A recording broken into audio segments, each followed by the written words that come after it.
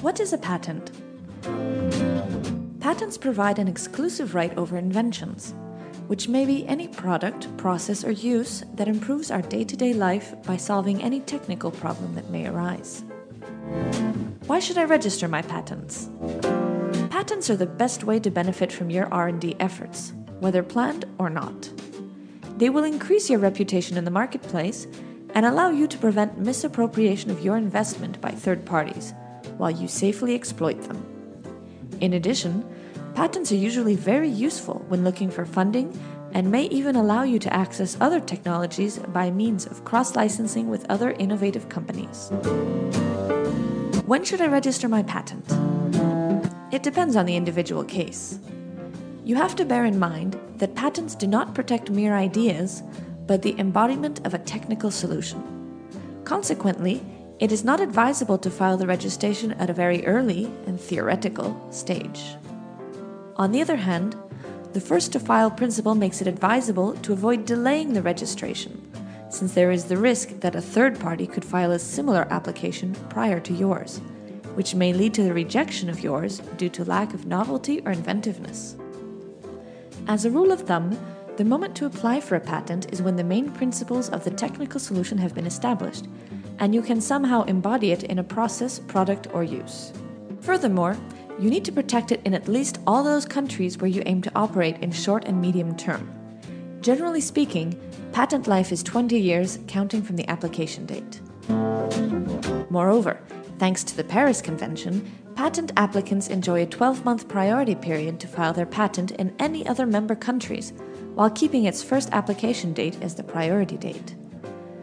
Thus, any patent, including yours, filed after the priority period may be rejected for lack of novelty.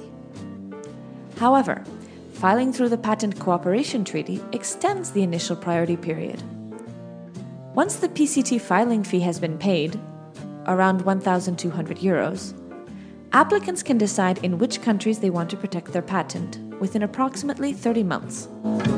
How should I register my patent? 1. Perform a state of the art search.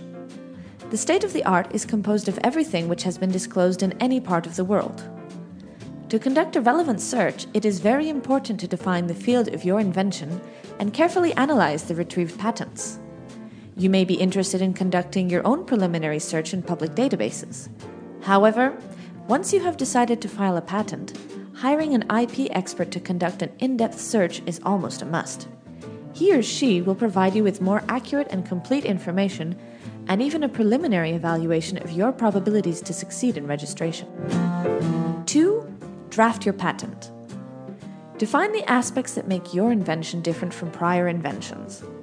The main claims should include only the essential aspects, only those aspects without which the invention cannot exist. Improvements or variations must, in most cases, be included within the dependent claims or patents. Avoid the temptation of saying too much. Irrelevant information may confuse patent examiners. In addition, do not disclose confidential information, such as know how, unless strictly needed to explain the invention. Prevent damaging your future patent applications or giving clues to your competitors by not including information concerning ongoing inventions. And do not forget to work together with an expert in patent drafting to reach the best result. 3. Apply for registration.